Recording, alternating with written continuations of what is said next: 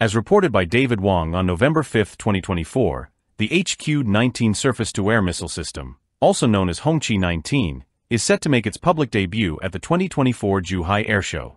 This advanced Chinese anti-ballistic missile, ABM interceptor, is engineered to engage ballistic missile threats both within and beyond the atmosphere, akin to the United States THAAD-ER system. Despite being showcased for the first time, the HQ-19 is already operational within the People's Liberation Army Air Force, PLAAF, and has appeared in previous reports. The HQ-19 is mounted on an 8x8 high-mobility truck, featuring a six-missile launcher configuration. It employs a cold launch mechanism at a steep angle, enhancing its ability to intercept incoming ballistic missiles. The system's radar technology, including the 610A information radar, boasts detection capabilities for targets at ranges of approximately 4,000 kilometers. This coverage extends from northern South Asia to China's inland regions, such as the Tibetan Plateau. The HQ-19's integrated command and control system utilizes radar data to improve target tracking and interception accuracy. The HQ-19's development began in the late 1990s as part of China's 863 program, which aimed to enhance the nation's high-tech defense capabilities.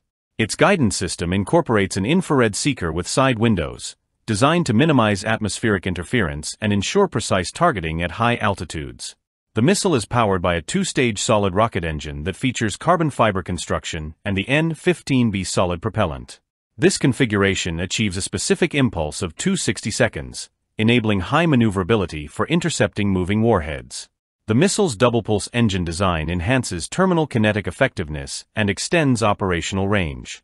With innovations in composite materials, the HQ-19 can maneuver at forces of up to 60 G during interception, demonstrating remarkable agility. The HQ-19 boasts an intercept range of up to 3000 kilometers, allowing it to engage ballistic missiles, including their re-entry warheads. Notably, its kinetic kill warhead places it among a select few global systems equipped with this technology, comparable to the U.S. Kinetic Kill Vehicles, KKV. China has demonstrated early capability in kinetic kill technology, successfully completing a test flight as early as 1999, making it the second nation to develop this capability after the U.S. Multiple tests have validated the HQ-19's functionality, including successful interceptions at altitudes exceeding 200 kilometers and relative speeds up to 10,000 meters per second. In February 2021, China's Ministry of National Defense confirmed a trial where the HQ-19 met all operational expectations. The tests, conducted between 2010 and 2021, have emphasized the system's defensive nature, with officials stating it is not aimed at any specific country. The HQ-19's unveiling at the airshow could signal its availability for potential export, particularly to markets in the Middle East.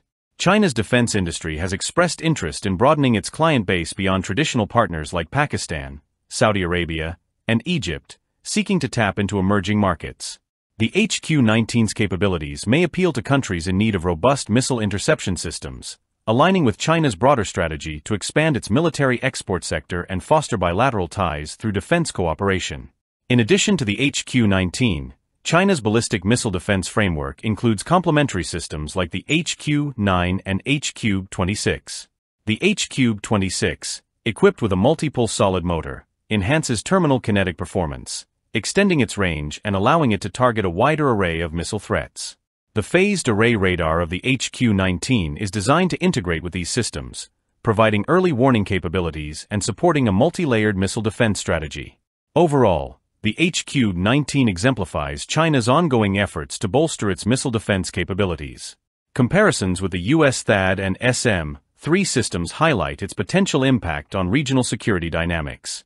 Observers suggest that the HQ-19 may serve as a countermeasure against ballistic missiles in the South Asian region, particularly against India's Agni 4 and Agni 5 systems.